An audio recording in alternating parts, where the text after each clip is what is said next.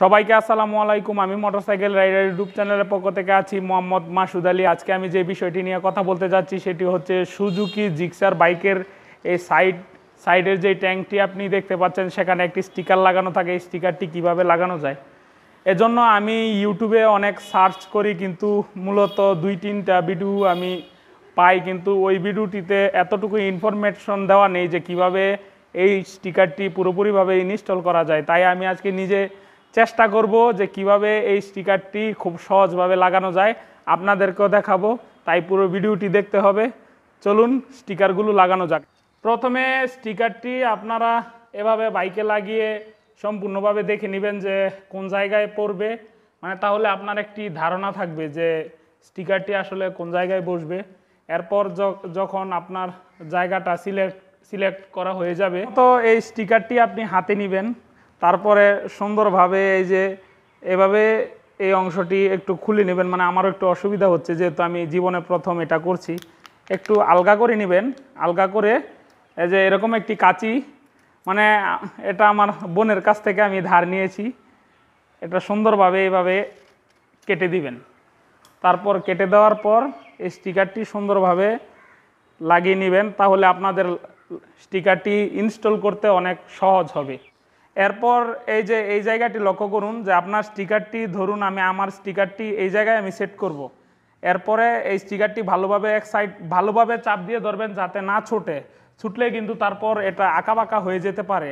এরপর সুন্দরভাবে আরেকবার আরেকবার শিওর হয়ে নেবেন যে স্টিকারটি সুন্দরভাবে বসছে কি না এরপরে মানে আমারই অসুবিধা হচ্ছে অনেক। আসলে এই সব কাজ আমার জীবনে আমি কখনো করিনি। আসলে সব কিছুই যখন আপনি প্রথম প্রথম করতে যাবেন, তখন একটু সমস্যা বা ভোগান্তি পোয়াতে হবে। এরপর ইউজ টু হয়ে গেলে আর সমস্যা হবে না।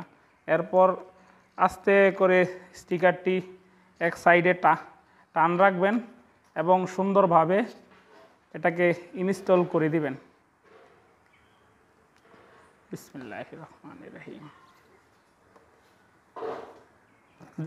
একটা বিষয় খেয়াল রাখবেন, যাতে কোনো এয়ার বাবল বা এয়ার বাবলস ভিতরে না থাকে, তাহলে জিনিসটা একটু খারাপ দেখা যাবে। এরপর দেখুন যে কীভাবে এই অপর পাশের স্টিকারটিও সুন্দরভাবে মানে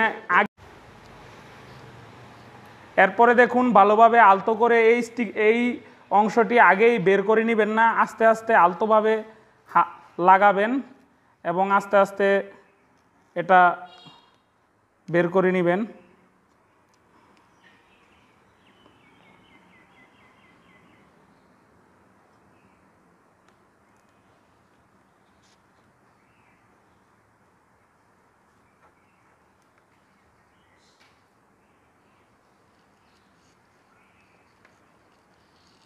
এবার অপর পাশের স্টিকারটি আমি সেট করছি। এরপর আমি তো দেখিয়ে দিলাম যে কীভাবে লাগাবেন, আসলে এইভাবেই লাগাতে হয়। এবার অপর পাশের স্টিকারগুলো সেট আপ করি, তারপরে আমি এটার একটি সিনেমেটিক ভিউ দিয়ে দিচ্ছি।